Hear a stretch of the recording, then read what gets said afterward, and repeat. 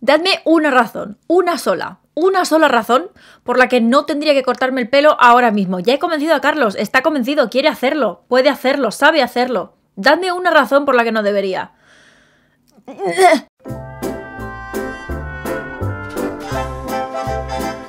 Hello, bonicas. El misterio de mi pelo sigue adelante. Mi cabello ha decidido ir por, por separado, por libre. Es, es un alma libre que no puede atarse como una ola.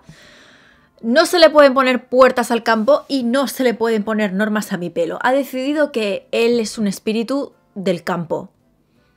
Ya está. Y yo echo de menos mi pelo corto, también tengo que decirlo. Pero para lo que me viene muy bien tener el pelo largo es para este tipo de vídeos. Esos vídeos de ¿funcionan estos trastos? Son interesantes. Y con el pelo largo, como que dan un poquito más de vidilla y un poquito más de INRI. Bien. Esto fue mi tía. Mi tía Esther me mandó un vídeo de Instagram y me dijo, ¿what es esto? Y lo tengo rondando aquí ya prácticamente desde que empezó la cuarentena y se me va a pasar el momento de devolverlo, así que tengo que probarlo. ¿Qué es esto? ¿Habéis visto? ¿Qué es? ¿What?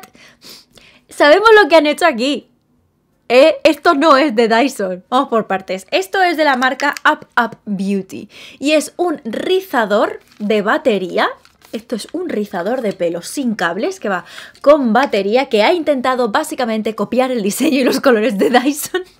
Esto no es de Dyson, no lo pone en ningún lado, ni intenta ser nada parecido a Dyson. Simplemente ha cogido el diseño, los colores y ha dicho, os vais a cagar. Y han hecho un rizador de pelo inalámbrico que en teoría es la maravilla de la naturaleza. Así que yo tenía ganas de probarlo con mi pelo libre al viento salvaje. Sorprendentemente lo podéis encontrar en Amazon por una variedad de precios impresionante, porque por ejemplo yo aquí en Reino Unido lo compré por 60 libras, que son 68 euros ahora mismo según estoy grabando esto, pero en Amazon España no lo he encontrado por debajo de 80 euros, entonces no sé exactamente a cuento de qué viene todo esto. Lo voy a buscar también en AliExpress porque seguro que está en AliExpress, porque esto tiene toda la pinta de AliExpress. El caso es que luego al tacto, ¿sabéis? Pesa y se ve como bueno. Si no supiera que esto no existe en Dyson, igual hasta me lo creía y todo. Pero no es de Dyson, es de Amazon y vamos a probar qué tal funciona, si riza el pelo y si es cómodo de utilizar. Vamos al lío. ¿Cómo utilizar portátil rizador de pelo automático inalámbrico? Mantenga presionado Power On Off, que es este botón de aquí, durante dos segundos para encender antes del dispositivo que viene compitido y la pantalla LCD se encendida.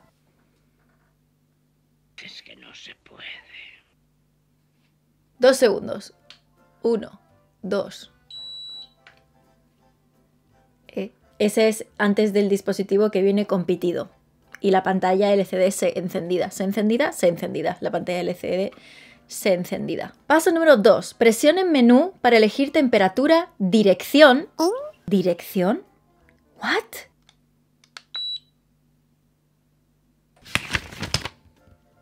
Dirección. ¿Qué es menú? ¡Oh! Ok, vale, sí. Si presionas una vez el botón de encendido, se selecciona o la temperatura o la dirección y luego con el botón de al lado, que es este, puedes seleccionar derecha o izquierda. Ok, vale, 180 grados está bien porque tengo el pelo fino, más de 180 grados no utilizo nunca y ahora voy a cambiar la dirección hacia la derecha. Hacia la derecha, o sea, esto va a girar hacia la derecha.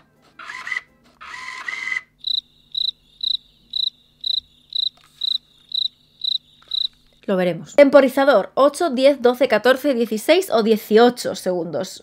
Y ahora mismo está en 12. 12 segundos está bien, lo vamos a dejar en 12 porque ya como tengo que cambiar eso también... Ah, sí, se puede cambiar. Ok, si le das otra vez al mismo botón del menú, lo puedes poner y cambiar... Ok, todo bien.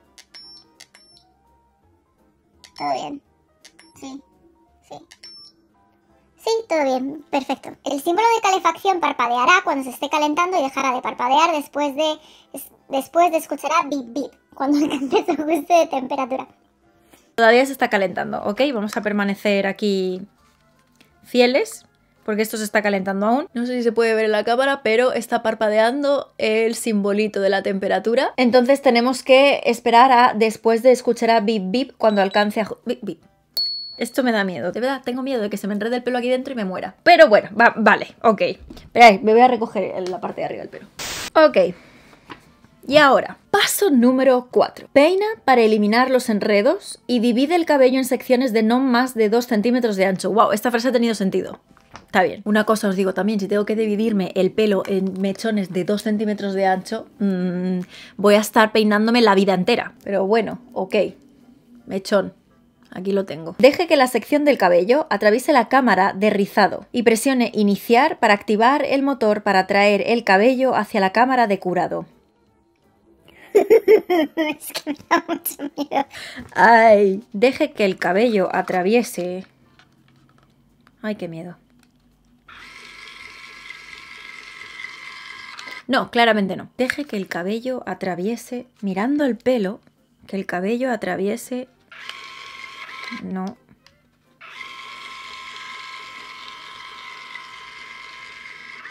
What? Oh, oh, oh. Suelte el inicio cuando escuche el primer pitido. El curado automático finaliza cuando escuche el pitido final.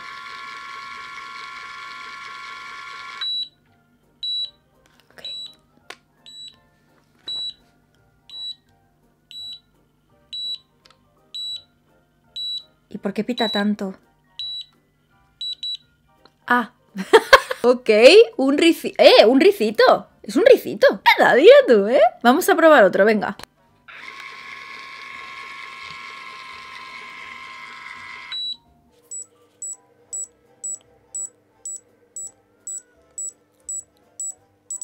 Son 12 pitidos porque lo tengo en 12 segundos. Sale el pelo caliente. No me termino de aclarar es cómo se pone el pelo en el cacharro, porque me, ha rizado desde aquí, porque no sé meter mejor el pelo en el trastillo. O sea, rizarlo más o menos lo está ondulando, pero no sé ponerlo bien. Wait. Vale, he visto un par de vídeos y he visto que hay gente que lo que hace es, o sea, coge el mechón y lo lleva así, entonces aprieta el cacharro hacia la, raíz de la, la, raíz de la cabeza, muy bien, hacia la raíz del pelo, el mechón ahí y... A...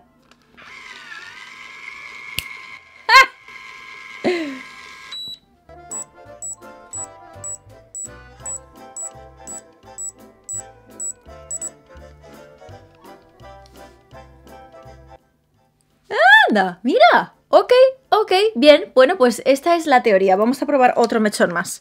Ahora que sé cómo se utiliza el cacharrillo este. Espero que la batería del trasto este dure, porque ya me vais a explicar si no, con lo que tienes que tardar en hacerte la cabeza entera a mechones de 2 centímetros. y eso es que yo no tengo especialmente muchísimo pelo. Alguien que tenga mucho pelo puede morirse de viejo.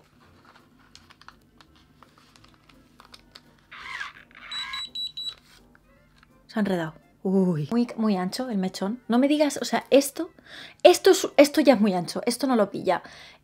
Mm. ¡Se ha apagado! ¿Por qué? Y ahora se tiene que calentar otra vez. Pero si estaba caliente ya, no tendría que tardar en calentarse. ¿Por qué tarda en calentarse? Si estaba caliente hace 5 segundos. Tengo un... Vale, pipi. O sea, esto es muy grande. Ya no puede con tanto. Tiene que ser más pequeño que eso me, echa, me echa bastante para atrás porque quien tiene tiempo para hacer esto, por favor, venga, otra vez. ¿Por qué? ¿Por qué? Y se apaga. Cuando se enreda el pelo, se apaga. Y tienes que esperar otra vez a que se encienda. Esto no, ¿eh? No, a ver, aquí ya después de utilizar el cacharro varias veces me retracto. Es importante que la máquina se apague si el pelo se queda enredado dentro, porque imaginad que no se apaga, eso sigue calentando el mechón de pelo, el pelo está enredado dentro de la máquina, no lo podemos sacar, se sigue calentando y al final podemos acabar así.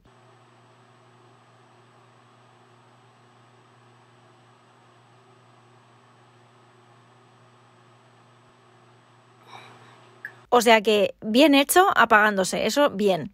Y por otro lado, viendo el vídeo y editando, he visto que realmente no es que se haya enredado porque el mechón haya sido demasiado grueso, sino porque no estaba bien separado del resto del pelo. Si os fijáis en la base del mechón, ahí hay como pelillos por todas partes, el mechón no está limpio, por decirlo así, y entonces al intentar entrar en la máquina se ha enredado, no por la anchura del mechón. Ok, Marta de la edición se cae y proseguimos. Venga, otra vez. Voy a intentar no acercarlo tanto a la raíz. A ver si es por eso que se está enredando. Vamos a ver, Marta, venga, que tú puedes.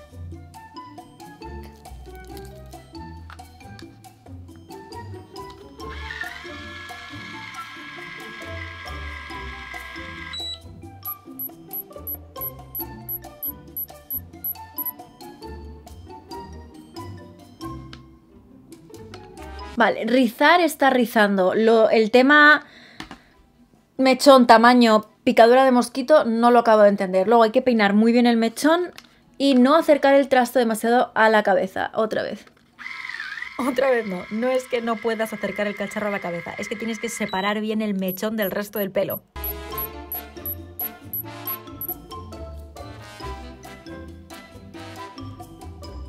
Ya está. Lo que quiero saber es cuánto tardo en hacerme la cabeza entera con el trasto este porque me da la sensación de que poco no va a ser. Voy a cronometrarlo.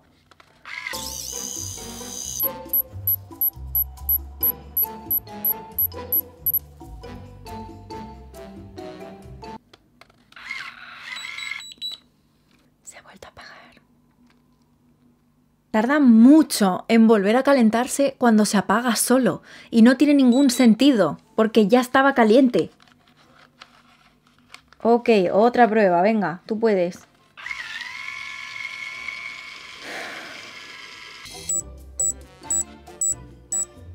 Son como las 12 campanadas, literalmente son 12.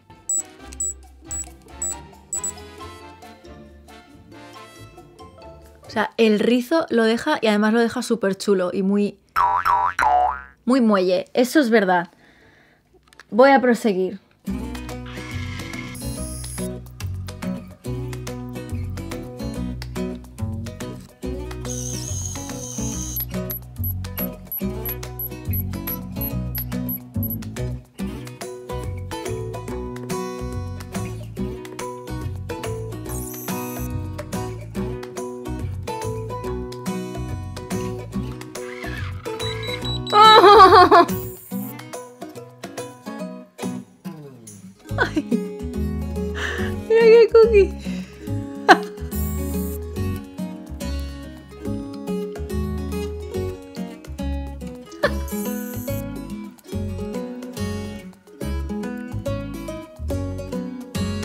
Ok, Paro aquí un momento, mitad de la cabeza, el cronómetro va por 11 minutos y medio, teniendo en cuenta que ya había hecho la parte de abajo explicando cómo funcionaba y tal.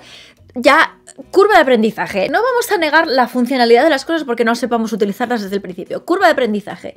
Es verdad, mechones pequeños funcionan mejor, pero he descubierto que si cogemos un mechón, aunque sea un pelín más ancho, y cuando tenemos, por ejemplo, este de aquí, ¿vale? Cuando tenemos el mechón, en vez de meterlo tal cual hacemos así como un girillo y metemos esta parte de aquí que se queda más fina, la máquina no se enreda. Entonces podemos meter como mechones un pelín más grande, de 4 centímetros, que ya va mejor, porque de verdad, ¿eh? Sí, tenemos que ir metiendo mechones de 2 centímetros, pero rizar, riza y además deja un rizo muy gracioso. Muy bonito, me gusta. Sigo. Eso sí, antes de seguir, tengo que cambiar la posición hacia la izquierda. Muy importante, porque si no va a hacer el rizo en la misma dirección. Entonces, posición a la izquierda y ahora sí, sigo.